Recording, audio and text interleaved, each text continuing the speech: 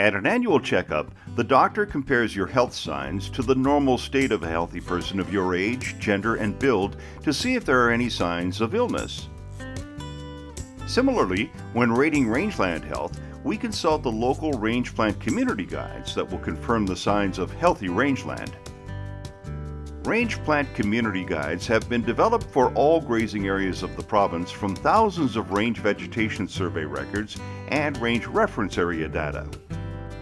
These classification documents provide a description of the major range plant communities found in your area, describing both the potential plant communities for the site as well as those that develop with different levels of disturbance, say with light to moderate to heavy grazing.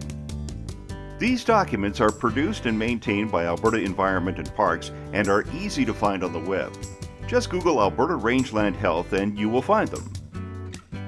Range plant communities in the prairie region are defined for every major soil or range site type, which are named by very recognizable qualities like loamy, blowout, badlands, overflow, and so on. There are 14 possible upland range sites. Each range site in the guide will have one or more reference plant communities, which define site potential under light grazing disturbance, plus additional successional communities that reflect additional levels of grazing disturbance like moderate, heavy, and very heavy. The guides may also capture modified plant communities where non-native species have been dominant. So range plant community guides are a reference to ensure that each unit of rangeland is evaluated appropriately based on its site potential. Once the appropriate plant community is identified, detailed information is available to apply the health indicators including dominant plant species, plant community structure, expected bare soil, and ground cover. A recommended ecologically sustainable stocking rate is also provided for each community. In this video, we will also consider the two driest of the grassland natural subregions, the dry mixed grass and mixed grass. The dry mixed grass, formerly the brown soil zone, is the driest of the four grassland natural subregions, with about 43% of the original area remaining as native plant communities. Long-term annual precipitation averages 343 millimeters of annual precipitation, ranging from a low of 291 and a high of 407 millimeters. Summers are short with warm to hot days and long cold winters. Loamy range sites have medium textured soils and generally good internal drainage and rooting characteristics. The most common loamy plant communities are dominated by species like needle and threadgrass, blue grama, and June grass. Generally, the abundance of taller growing wheatgrasses increase with elevation or proximity to moist natural subregions. Loamy soils have little natural bare soil and produce an abundance of litter. Blowout range sites develop on solonetzic or hardpan soils that have evolved due to the presence of fine textured clays influenced by sodium salts. This hardpan layer both limits water infiltration and root penetration. Dominant grasses include northern and western wheatgrass, June grass, and Sandberg bluegrass, all adapted to the character of these soils. Sagebrush is also often present due to local short-term water pooling at the surface of the hardpan soils. Blowout soils tend to have more natural bare soil than do loamy soils and produce limited amounts of litter.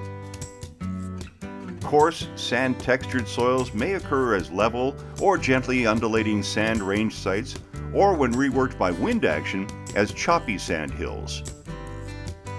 Both range sites have rapid internal drainage and can be relatively productive due to the good rooting medium provided by the sand.